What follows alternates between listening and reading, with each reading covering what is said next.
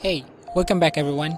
Today I'm gonna show you how you can turn a photo to look like an anime style using Photoshop.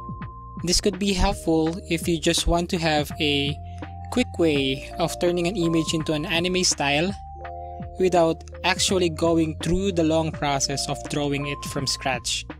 But if you want to learn how to draw and paint an anime style artwork specifically, you can check out some of my videos here on YouTube.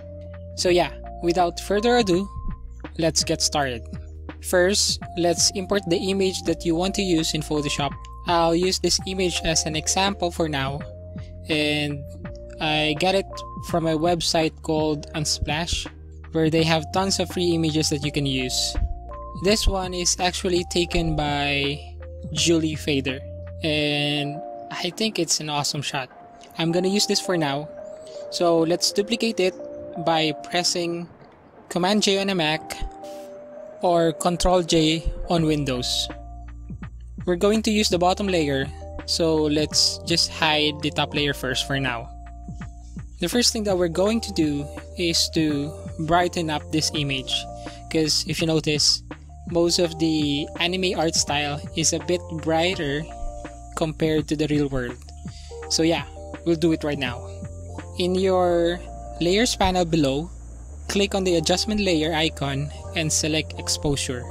Let's start increasing the exposure slider to about 0.22 I guess and a little bit on the offset and the gamma correction let's decrease it to about 1.4 Yep, I'm good with it.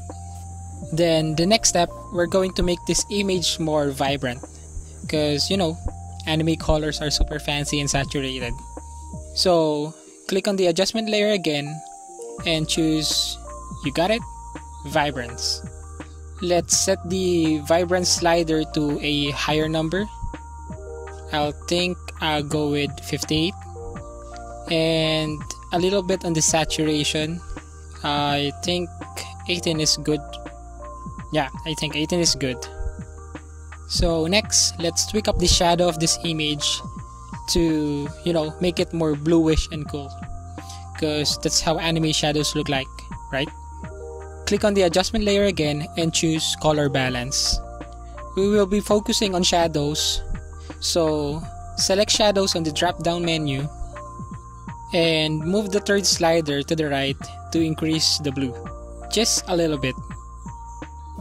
I think 5 is enough. Then let's go to the first slider. Let's move it to the left to about negative 5. Alright. This is looking good actually. And we can actually end here if you like. But what's anime without the line art, right? So now, we will be adding lines to this, and we'll use this top layer. Let's unhide it and select. Now, go to image, mode, and select 8-bit, because this will only work in 8-bit. Also make sure that your foreground color is set to black. Next, click on filter and choose filter gallery.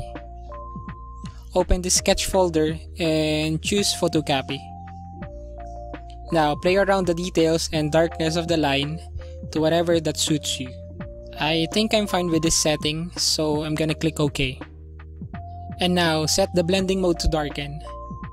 You can adjust the strength of the lines by lowering the opacity if you want to. And that's it. Actually, I'll drag the original image here so you can clearly see the difference.